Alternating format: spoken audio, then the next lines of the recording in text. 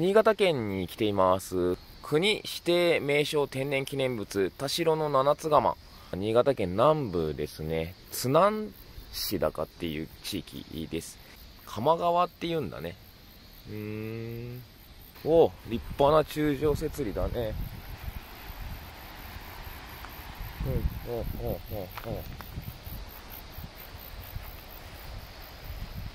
でも川が全然見えない。あれ下になんか園地があるね。歩いてあそこにたどり着けってこと？じゃあ七つ釜おはぎさん登場。行くぜ。この道を歩いて行くと川に出られるみたいなんで。行きますか。よし行くよおはぎ。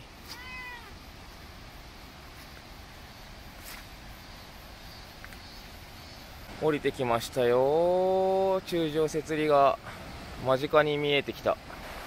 もうちょい降りていけるみたいなんで降りるか。では降りていきましょう。猫を連れて降りるってか。降りてきた。マギさんが怒ってる。はいはいはいはい。なんかあるよなんかあるよ。滝？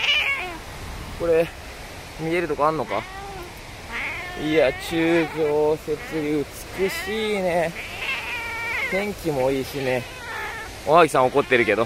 これが七つ釜の滝。2段ありますね。1段目。2段目ってことね。すごいねこの柱状設理まっすぐ。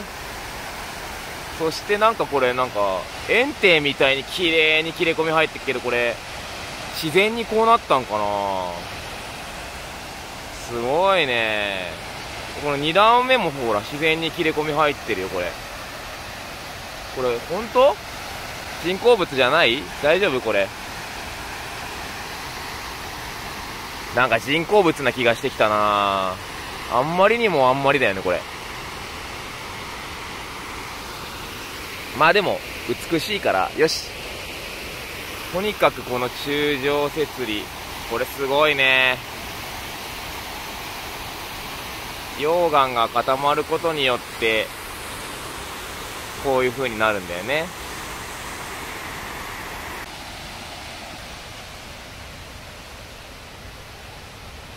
うん滝とおはぎ。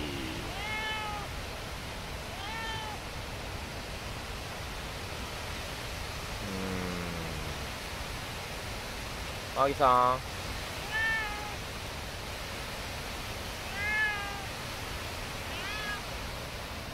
滝の上流から下流に向かって眺めてみました。や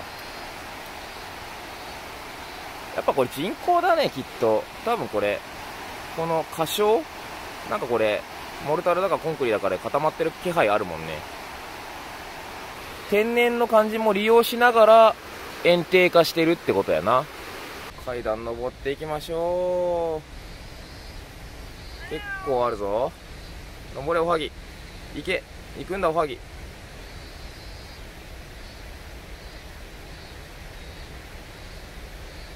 大冒険やな。なんで歩くのやめたの？疲れたの？ちょっとさそこちょっと湿ってるけどそんなとこにちょっと寝寝そべっちゃったらちょっと大変なことになりませんか？おはぎさん。なんか湿ってるよここ。ちょっとさ立っておはぎ。立って立って。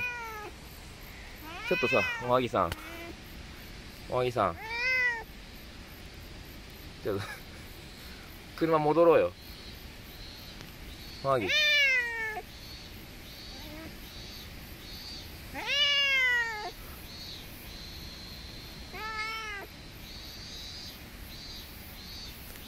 ええー、もうすぐ車だよ。頑張って。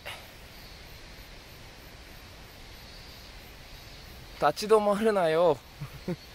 進むんだよ。また寝そべる。疲れるの？あんた。もしかして。運動不足ですか？ちょっとおはぎさん。おはぎさんや。ちょっと。ちょっと。なんかお散歩会になったね今回ね。やっぱこれちゃんと読めばよかったね。七つ釜下流砂防ダムって書いてあるもね。やっぱあれ人工物でしたね。騙されずに済んでよかった。はいってことで車まで帰ってきましたよ。おやっぱ我が家に向かって一目散ですか？よいしょ。帰りました。七つ釜お疲れ様でしたおはぎさん。では。